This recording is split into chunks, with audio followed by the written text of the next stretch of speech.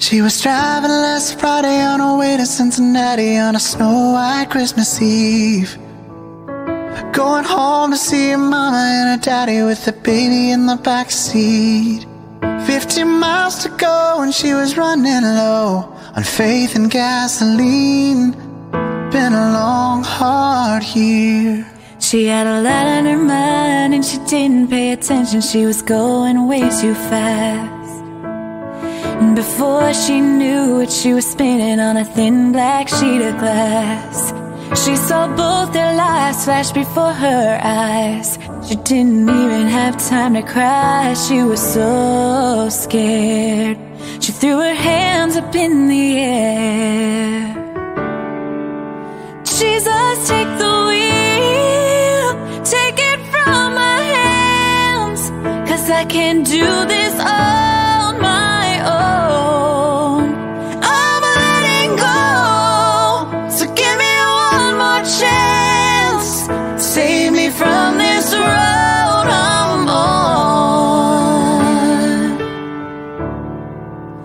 Jesus, take the wheel.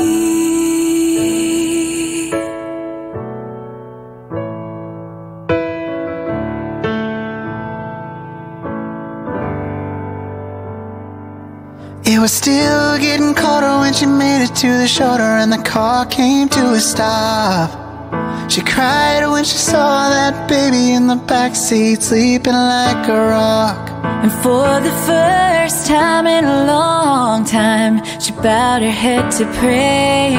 She said, I'm sorry for the way I've been living my life. I know I've got to change. So from now on tonight, Jesus, take the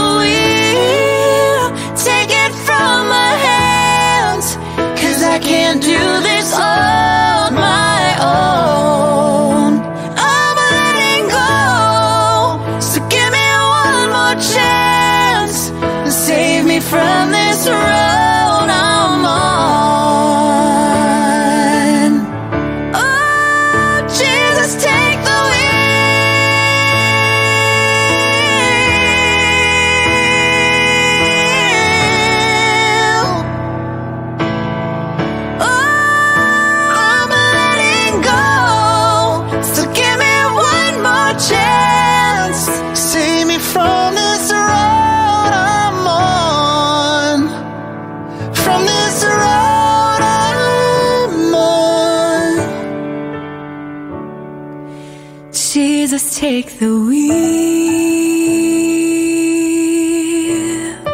Oh, take it, take it from me. Oh,